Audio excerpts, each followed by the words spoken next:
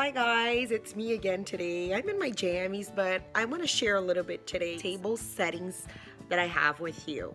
So sometimes oh, on a budget, you don't want to spend too much, and you're wondering what you're gonna do for your table.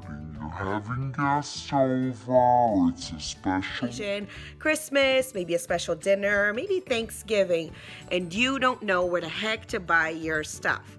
Well, I'm to give you some ideas and some tips for today. You never need to go really expensive. You need to do is be creative. That's the idea. Yes. So, what I usually do, guys, I love thrifting and hopefully we'll do some thrifting with you guys. in the next videos where I actually go to the store and we get some stuff after the corona is done because this is corona season. it will go away. We have faith.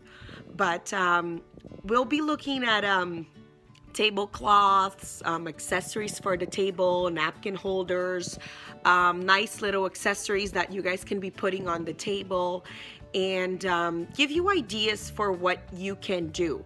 Because sometimes you go to the thrift store, or we're here in Canada, you go to the Value Village, a thrift store, or the Talize. Um, and you don't know what to look for. So it is stores that you have to have patience, you have to have creativity, and you have to have a good eye. I have found from elegant pieces to kind of like more rustic, boho, farm style kind of stuff. And I have found some great, great, great stuff.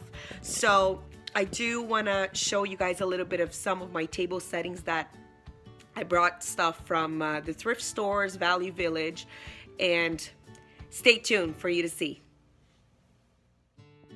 So this tablecloth is definitely from the thrift store with all the glassware and the plates.